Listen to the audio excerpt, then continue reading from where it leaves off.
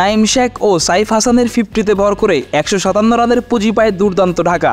লক্ষ্য তারায় নেমে তেইশ রানেই তিন উইকেট হারায় কুমিল্লা ভিক্টোরিয়ান্স।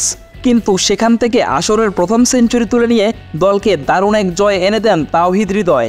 সেঞ্চুরি হাঁকিয়ে সিজদা দিয়ে সৃষ্টিকর্তার প্রতি করলেন কৃতজ্ঞতা প্রকাশ। বিপিএলের গত আসরে সিলেট স্ট্রাইকার্সের হয়ে দুর্দান্ত ব্যাটিং করে জাতীয় দলে জায়গা করে নেন তাওহিদ হৃদয়। এবারের বিপিএলের আগে তাই কুমিল্লা ভিক্টোরিয়াস তাকে সরাসরি চুক্তিতে দলে বেড়ায়। কিন্তু শুরুটা তার নিজের মতো হয়নি। ছোট ছোট ইনিংস খেললেও লম্বা করতে পারেননি। আজ দলের বিপদের সময় জ্বলে উঠলেন হৃদয়। হৃদয় দিয়ে ব্যাট করে দুর্দান্ত ঢাকা বোলারদের করলেন কোণঠাসা। তেইশ রানে তিন উইকেট হারানোর পর ইংলিশ ব্যাটসম্যান ব্রুকি গেস্টকে নিয়ে চুরাশি রানের জুটি করেন তাওহিদ হৃদয়। পঁয়ত্রিশ বলে চৌত্রিশ রান করে গেস্ট আউট হলেও হৃদয় খেলেছেন হৃদয় উজাড় করে। বত্রিশ বলে ফিফটি হাঁকিয়ে তিপ্পান্ন বলে ছুঁয়েছেন সেঞ্চুরি। আর তাতেই শেষ দিকে কঠিন হয়ে যাওয়া ম্যাচ সহজ করে নেয় কুমিল্লা ভিক্টোরিয়ান্স।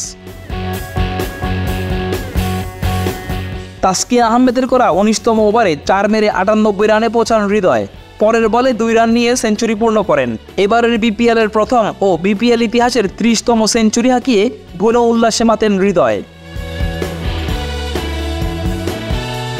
পরক্ষণেই শেষ শেষদায় লুটিয়ে সৃষ্টিকর্তার প্রতি কৃতজ্ঞতা প্রকাশ করেন।